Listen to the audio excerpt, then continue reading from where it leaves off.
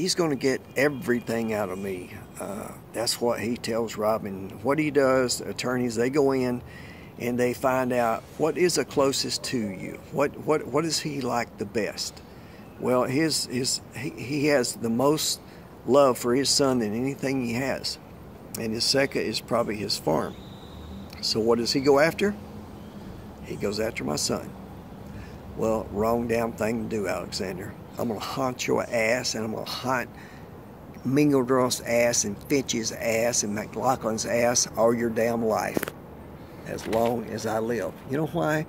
It's you people who are in jail. You know what?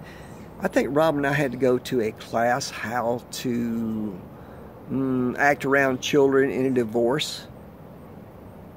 You know, wh why don't you guys go do that? Why don't you guys go how to act around children? No.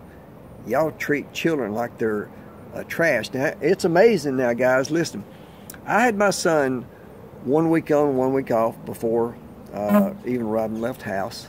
Uh, that's what we um, that's what we agreed on, and um, they took him away. Like I said, but it's amazing. When I signed the divorce papers, uh, I um, got him back the exact same way we had him. But before all that, um, I was classified as a bad guy.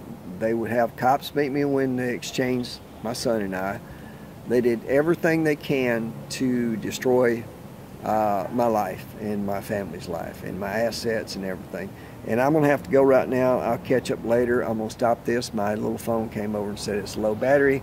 I've been out today doing a lot of things and talk to you guys later on the next episode of Jackson, Banks, and Barrow County.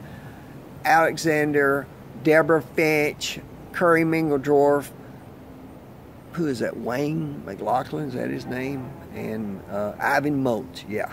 Uh, that's just a few. I'll tell you later about the rest of them. Bye.